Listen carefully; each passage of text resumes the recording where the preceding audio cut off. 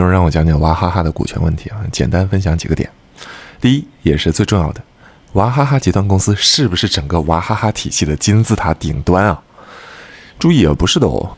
大家平时看控股平台型的股权结构看习惯了，一般的公司架构呢，都是顶层有一个控股集团，下面按照业务板块分设各个子公司，子公司再往下发散各种条线，啊，从上往下像金字塔一样。上市公司往往都是这样清晰的架构，但娃哈哈不是这样的。娃哈哈体系中的大量业务都在娃哈哈集团之外啊。我们现在热议的三大股东持股的公司是杭州娃哈哈集团。国资百分之四十六，宗庆后百分之二十九点四，工会职工持股会百分之二十四点六。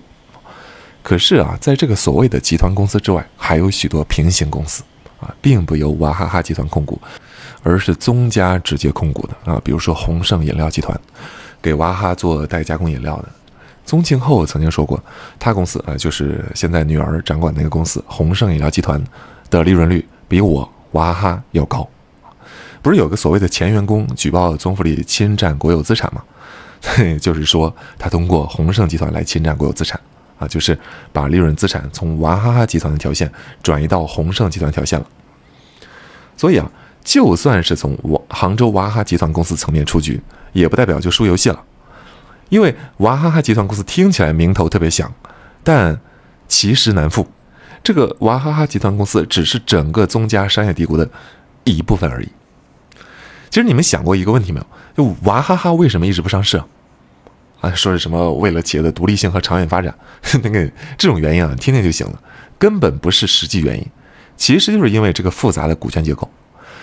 宗庆后接受采访的时候都说过啊，娃哈哈并没有说永远不上市啊，有合适的机会也可以试试的。但是这个股权结构是最大的障碍。公司上市一定要股权结构清晰，要整合出一个核心的上市主体。娃哈哈这种体系太乱了，整合非常复杂，而且成本高昂。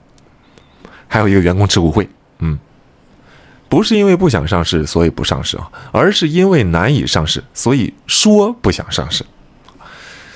第二点啊，就单看娃哈哈这个集团是国资吗？如果你只看谁控股，那毫无疑问啊，可以算是国资。但是娃哈哈这个集团公司啊，很微妙。如果你看下新闻，就会发现。官方给娃哈哈表彰的时候，他获奖的时候啊，都是说，都是在强调他的民营企业身份。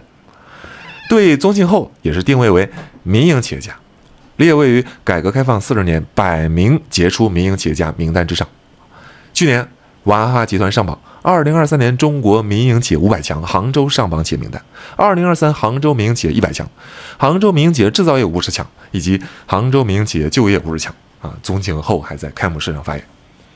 那怎么回事呢？当年不允许私人开公司嘛，啊，宗庆后承包了上城区校办企业经销部啊，就靠着学校的牌照起家的，自负盈亏，后来做起来了。但是国资一直还在，没有做切割。从表面上看，就好像是国资控股，那像个国企，实际上国资根本不管呢，啊，不参与经营，它其实就是个民企啊。什么是国企啊？真正的国企是要纳入国资委管理体系的啊，国资委要委派企业管理人员的。娃哈哈集团。虽然国资持股多数，但仍然仍然像是个财务投资者，其实算是个民企。所以宗庆后在的时候就谈接班的事情了。那如果他真是个国企，他怎么能自行决定这个这这这谁来接班呢？不过呢，事情发展到现在，嗯，微妙了起来。国资加上职工持股会，真的控股了啊。第三点，股权结构的问题。这种老板百分之二十九点四啊，另外两个股东二十四点六，百分之四十六的股权结构，假设不是发生在这个特定的案例里面，创业者是要尽可能避免设置成这样的结构的。其一，这个小股东会倒反天罡的啊，他反而成了香饽饽，因为谁能争取到小股东，谁就掌握了控制权。那这起事件里面不就是职工有反对声吗？二代想要精简人员啊，把原来的一些老员工给优化掉。职工持股会作为原来支持家族的小股东，这回站到了对立面。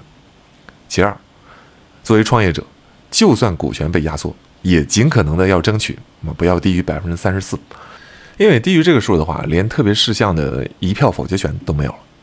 特别决议事项是三分之二决，对吧？那只要你在百分之三十四以上，对章程修订、增资减资这些特别决议事项，就是有一票否决权的啊。就算你没有决定权，但是你有一票否决权啊。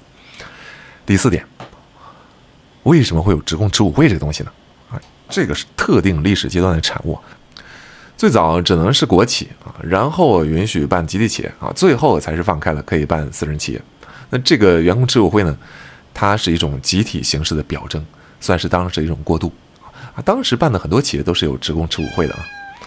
人职工持股会，很多人可能会想到华为，华为其实不太一样啊。呃，华为后来把实股转成了虚拟股。有时间我们可以好好聊一聊华为这股权问题，其实挺复杂。